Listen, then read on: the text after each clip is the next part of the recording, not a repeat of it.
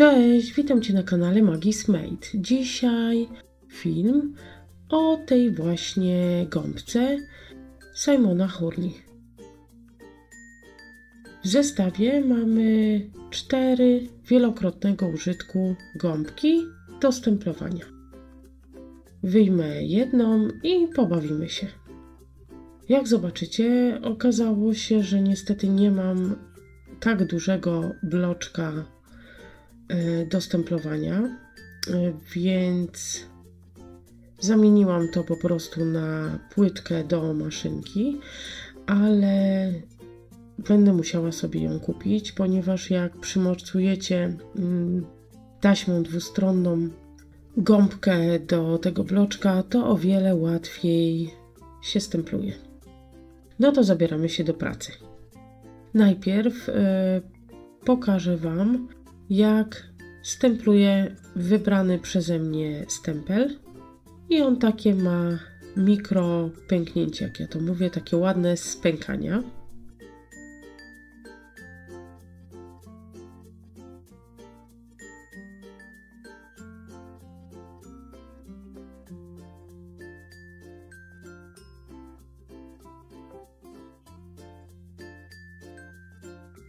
A teraz zobaczymy, jak będzie ten stempel wyglądał po odbiciu na gąbce. Ze względu na to, że pracuję na macie szklanej, e, na wszelki wypadek nagrzewam gąbkę na pudełku. Jeśli macie nagrzewnicę z Rangera, to bardzo ułatwi proces nagrzewania, ponieważ ma większą powierzchnię. Tutaj trzeba jednak się namachać rozgrzaną gąbkę kładam na stempel i odciskam wzór. Po czym wiadomo, że gąbka jest już dobrze rozgrzana. E, moim zdaniem, wtedy kiedy kolor jest jaśniejszy, ten, e, ten kolor szary jest jaśniejszy i na pewno bardziej się błyszczy. Jak widzicie, wzór mi się odbił i najpierw pobawimy się tuszem i szczoteczką.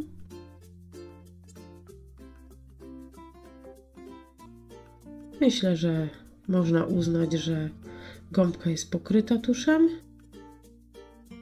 i odciskamy. Jak widzicie po lewej stronie mamy wzór oryginalnego stempla, a tutaj odbitego przez gąbkę.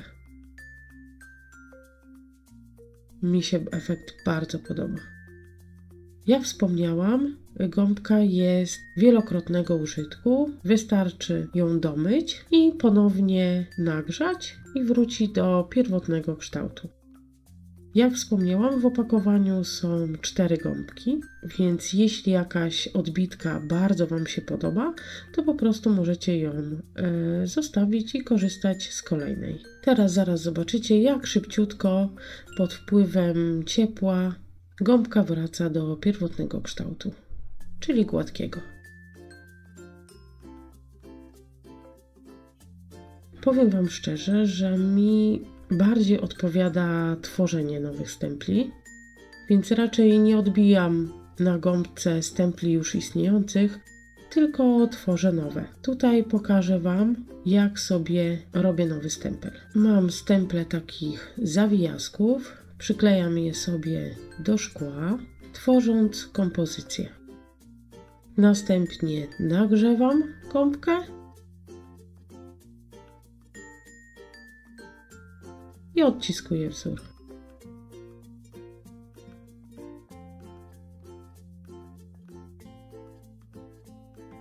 Moim zdaniem wyszedł niesamowity. Wydaje mi się, że ta forma, e, czyli nakładanie padem czy tą gąbeczką tuszu jest najlepszą formą. Jak robicie szczoteczką, no to ona pokrywa całą powierzchnię, więc te wgłębienia też są pokryte tuszem.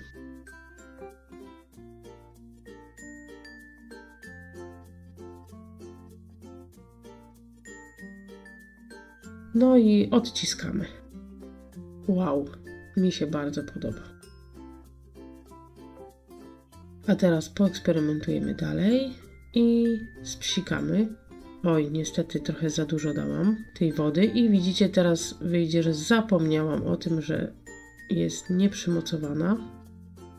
Już stwierdziłam, że jak już i tak utopiłam tą gąbkę, to utopię ją jeszcze bardziej. I robimy drugą odbitkę z tego samego.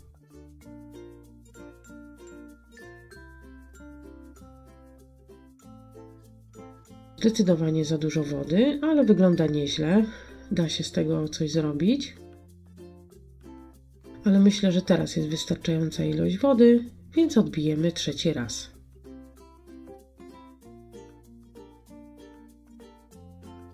I też wyszło fajnie. I czwarty raz.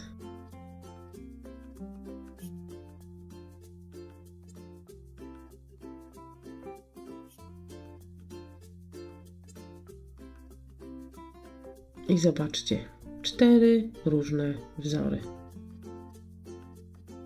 Czyli pokazałam Wam pierwszą metodę, czyli odbijanie gąbki od stempli. W sumie tak ładny wzór, że aż szkoda go topić.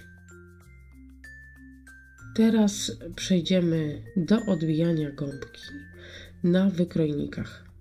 Mam tu przygotowany wykrojnik w kształcie tła z sercami i nagrzaną gąbkę odbiję. Super, wyszło tak pięknie. Nawet mi się tutaj z jakimś delikatnym brudem odbiło. Coś nie chce zejść. O. Wyszło ślicznie. No to jak serca, to weźmiemy jakiś różowy tusz. I odbijemy gąbkę na kartce.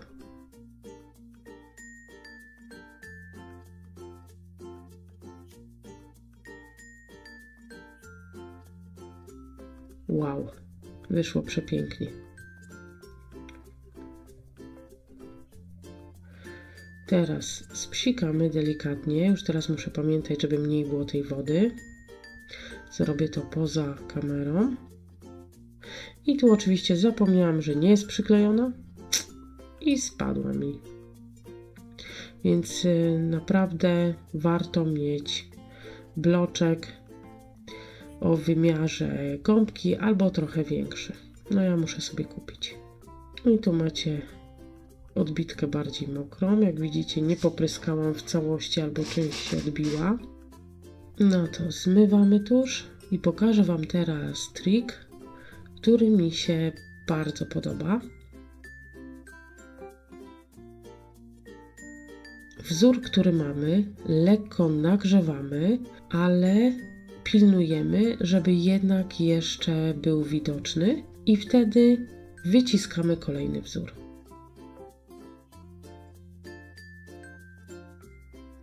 I teraz dociskam do kółek. I widzicie? Mamy jeszcze odbity drugi wzór.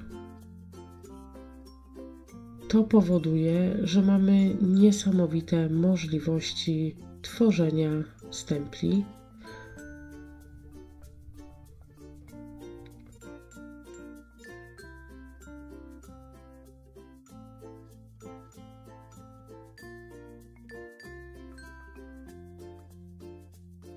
Wyszło ślicznie.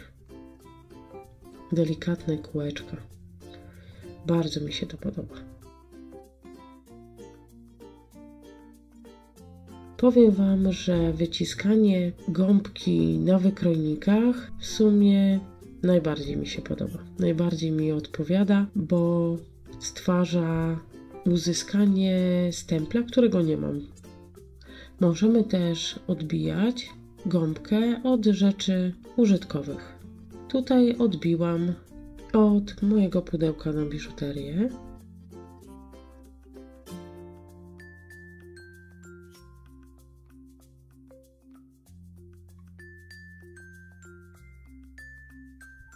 Powiem Wam szczerze, że ja bardzo lubię y, nawet te takie nierówności, które tworzą się przez nakładanie tuszu y, tą gąbeczką, tym padem. Bo tam się tworzą jakby dodatkowe linie, które moim zdaniem świetnie wyglądają.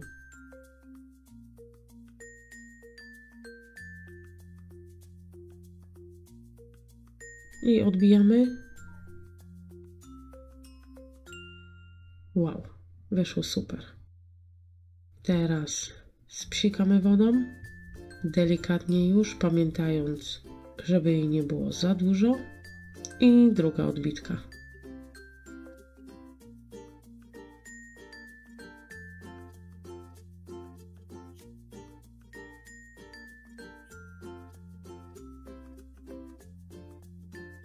Kolejnym sposobem jest odbicie gąbki od szablonu albo maski.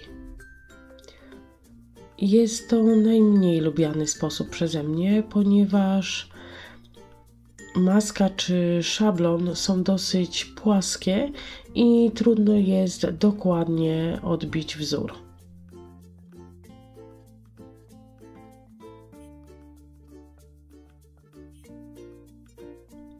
Odciskamy wzór z szablonu.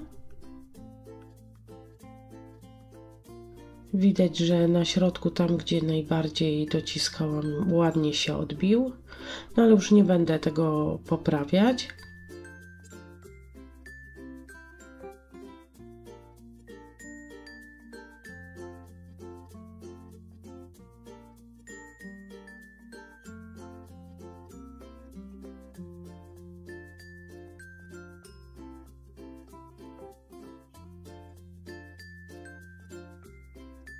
I wyszła porażka. Myślę, że to jest wina tuszu, za mało go nałożyłam. To teraz zamiast nakładania szczoteczką nałożymy całą gąbeczką, całym padem i odciskujemy drugi raz, trzymając kciuki, żeby była wersja ładniejsza. O tak, wyszło o wiele lepiej. Ale jak wspomniałam, odbijanie od masek i szablonów jest dla mnie najmniej atrakcyjna.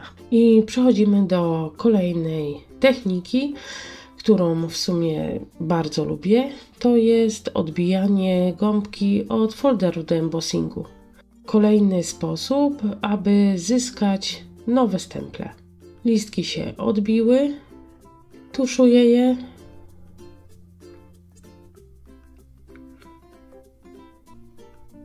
Można zostawić na takim etapie już tuszowanie. Ja chcę, żeby listki miały jakby dodatkowy odcień.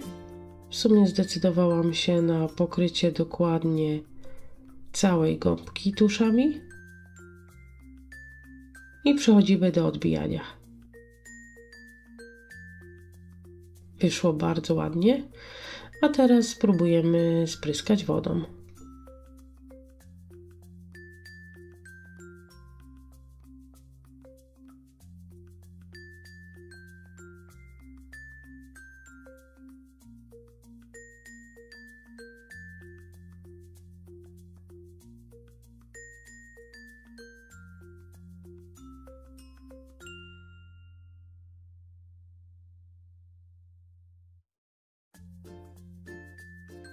Też mi się podoba. Przedstawiłam Wam na filmie wszystkie metody odbijania gąbki.